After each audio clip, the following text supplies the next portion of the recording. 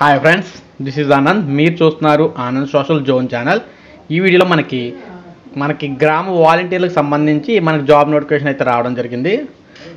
దీనికి సంబంధించి డీటెయిల్స్ అన్నీ కూడా మీకు ఎక్స్ప్లెయిన్ చేస్తాను. ఈ వీడియో స్టార్ట్ చేసే ముందు మీరు ఇంకా మన ఛానల్ సబ్స్క్రైబ్ చేసుకోకపోతే వెంటనే మన ఛానల్ సబ్స్క్రైబ్ చేసుకోండి. అలాగే పక్కనే వచ్చే బెల్ ఐకాన్ ప్రెస్ చేసినట్లయితే నేను పెట్టే లేటెస్ట్ జాబ్ నోటిఫికేషన్స్ కానీ అలాగే స్కాలర్షిప్ సంబంధించి కానీ అన్నీ కూడా మీకు మొబైల్లో నోటిఫికేషన్ కింద రావడం అయితే జరుగుతుంది.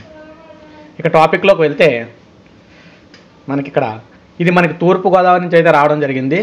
తూర్పుగోదావరిలో కాకినాడలో నూట మూడు కాకినాడ రూరల్లో అయితే పదిహేడు అలాగే రాజమహేంద్రవరంలో పంతొమ్మిది ఖాళీలు అయితే ఉండడం జరిగింది.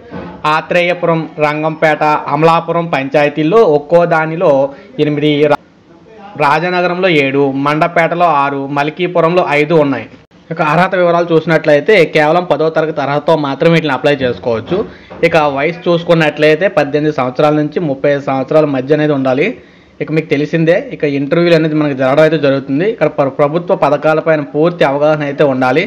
ఇక్కడ మనకి చూడొచ్చు ఇంటర్వ్యూ విధానం చూసుకున్నట్లయితే వంద మార్కులకు అయితే ఇంటర్వ్యూ ఉంటుంది.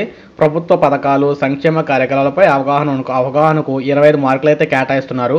ప్రభుత్వ సంక్షేమ విభాగాలు ఇతర సమాజ సేవా కార్యక్రమాల్లో పాల్గొన్న అనుభవానికి ఇరవై ఐదు మార్కులు అయితే ఇవ్వనున్నారు. నాయకత్వ లక్షణాలు కమ్యూనికేషన్ స్కిల్స్కి ఇరవై ఐదు మార్కులు అలాగే సాఫ్ట్ స్కిల్స్కు ఇరవై ఐదు మార్కులు కేటాయించారని చెప్పేసి మనకి ఇక్కడ అయితే తెలియజేస్తుంది. ఇక్కడ మనకి దరఖాస్తు చూసుకున్నట్లయితే ఇక మనకి అఫీషియల్ వెబ్సైట్ అయితే ఉంటుంది. గ్రామ వాలంటీర్ డాట్ ఏపీసీఎఫ్ఎస్ఎస్ అని డాట్ ఇన్ అని చెప్పి దీనికి సంబంధించి అఫీషియల్ వెబ్సైట్ లింక్ అనేది ఈ వీడియో డిస్క్రిప్షన్లో వస్తాను. దాన్ని క్లిక్ చేయడం ద్వారా మీరు అప్లై చేసుకోవచ్చు. ఇక పదో తరగతి వివరాలు నింపి సర్టిఫికెట్ అప్లోడ్ చేయాల్సి అయితే ఉంటుంది. సంతకం చేసిన ఫోటో జత చేయాలి. పూర్తి చేసిన దరఖాస్తు ఫారాన్ని సబ్మిట్ చేస్తే రిజిస్ట్రేషన్ ఐడి వస్తుంది. ఇంటర్వ్యూ షెడ్యూల్ తీసుకోవడం కోసం రిజిస్ట్రేషన్ ఐడి ఆధార్ పుట్టిన తేదీ వెరిఫికేషన్ కోడ్ ఎంటర్ చేసినట్లయితే మీకు ఏ రోజున ఇంటర్వ్యూ నిర్వహిస్తారు అన్ని డీటెయిల్స్ అన్నీ కూడా మీకు ఉండడం అయితే జరుగుతుంది. ఇక టోటల్గా మనకి పోస్టులు చూసుకున్నట్లయితే దాదాపు నూట ఎనభై పోస్టులు అయితే మొత్తంగా అయితే ఇవ్వడం అయితే జరిగింది. సో ఇది ఫ్రెండ్స్ ఈ వీడియో. ఈ వీడియో మీకు నచ్చితే లైక్ చేయండి. అలాగే మన ఛానల్ సబ్స్క్రైబ్ చేసుకోకపోతే వెంటనే మన ఛానల్ సబ్స్క్రైబ్ చేసుకోండి.